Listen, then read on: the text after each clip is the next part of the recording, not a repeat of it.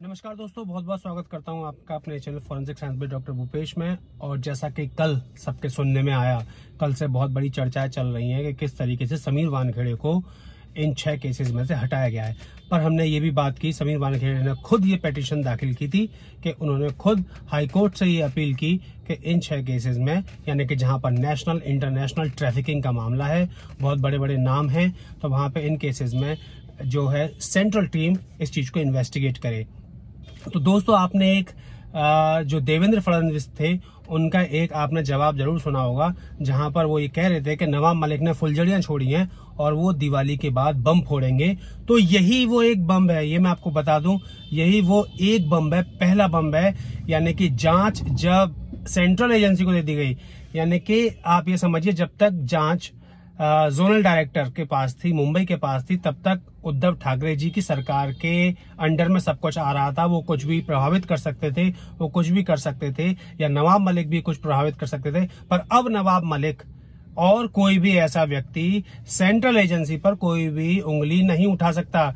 जी हाँ दोस्तों, ये दूसरा सिंघम दूसरा सिंघम तैनात कर दिया है। यहाँ पे सेंट्रल गवर्नमेंट ने और हाई कोर्ट ने और समीर वानखेड़े ने मिलकर दूसरा सिंघम संजय सिंह यहाँ पर तैनात कर दिया है। जी हाँ ये वही संजय सिंह है जिन्होंने कॉमनवेल्थ गेम में जो पूरा घोटाला हुआ था, उसका भी खुलासा किया था। उड़ीसा में इन्होंने कई सारे ड्रग कार्टल्स को पकड़ा है, जब उड़ीसा में ये इनकी पोस्टिंग थी।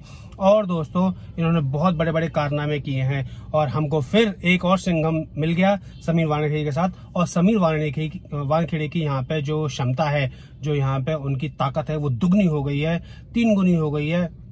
और यहाँ पे ये लोग समझ नहीं पा रहे। तो ये पहला बम फोड़ा गया है देवेंद्र फडणवीस, यानी कि बीजेपी या हम कहें कि सेंट्रल गवर्नमेंट की तरफ़ से ये सारी जाँच दोस्तों अब आ गई है सेंट्रल के पास। अब कोई भी नहीं बच पाएगा और हालाँकि हम इसको सोच सकते हैं इस तरीके से कि समीर वानखेड़े इन्फ्लुएंस नहीं हो रहे थे, बाकी लोग इन्फ्लुएंस होंगे नहीं दोस्तों, समीर वानखेड़े को किसी के लिए इन्फ्लुएंस करना इजी था, क्योंकि वो जोनल डायरेक्टर थे, पर वो फिर भी नहीं हुए, और सेंट्रल टीम को इन्फ्लुएंस करना उतना ही मुश्किल है, क्योंकि अब ये केस इतना बढ़ चुका है, यानी कि एक छोटी सी कगार से लेकर बड़ी कगार, बड़ी पैमाने पर आ चुका है।